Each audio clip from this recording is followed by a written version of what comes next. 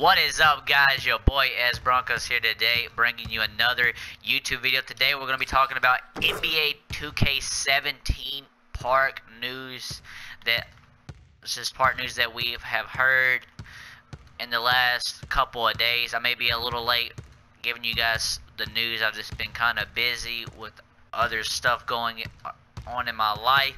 But nevertheless here's the video. If you guys do enjoy the video be sure to drop a like also, if you guys are new, be sure to subscribe to the channel. We're on the grind to 300 subscribers. Hopefully, we can hit that pretty soon. I would greatly appreciate that as well.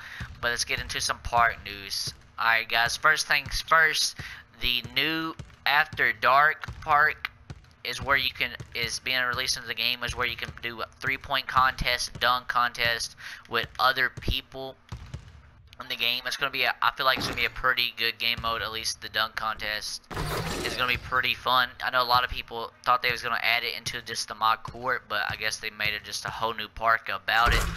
So hopefully that will be pretty nice. Hopefully the dunk contest are balanced and stuff like that, but it should be pretty fun overall. Also, custom jump shots, guys, is being released into the game. So this is very good that we, because everybody doesn't want to have the same jump shot using LA or release 70. Everybody can make their own jump shot, and this to make the park more versatile and everybody having their own custom jump shot. Also, they got over 300 brand new shoes in the game, including Yeezys. I know a lot of you guys are probably going to be hyped for that. If you guys look at the image on your screen, it's going to be showed that's just going to show you a picture of the new Yeezys. I don't know if I'll be rocking them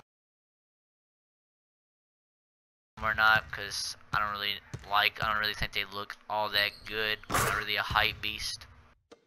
But I know a lot of guys will be rocking the Yeezys in the 3D shoe form. Also, now there's rep on the walk on like on the it's kind of like pro am but it's a difference. So you can play your like with your 5v5 and you can get rep instead of grinding out 10,000 games to get legend 5 or whatever they have. They haven't released what the highest rep is or the amount of rewards or any of that. Also they adding the stamina meter so you can't just spam crossovers. And it's going to be based on if you have no stamina you won't be able to shoot the ball and make it probably will not make the jump shot. So hopefully you guys won't be so much cheese at the park. But I heard there is speed boosting back at the park, at least right now in the game. As it does release, I guess we'll have to wait for the game to come out and see. But that's pretty much most of the NBA 2K17 part news I've heard. If you guys have heard anything else, drop in the comment section. I would greatly appreciate that. I do read all the comments and just let me know if you guys hear anything. Also, if you guys want to follow me on Twitter, tweet me some news. If you guys hear anything, I'll leave the link to the description for that as well. But this is just a short little video telling you guys what I've heard about the NBA 2K17 MyPark. I can't wait to play it. We're less than about a week away from the preload, so hopefully it will be pretty nice to see when the game does drop. We'll be bringing all you guys the best tutorials for the best builds for every position along with the best jump shots that I feel like I guess really won't be a best jump shot this year because you can customize your own but I'll provide you the best jump shot that I think is in the game that I'll build myself. So I hope you guys do enjoy and peace out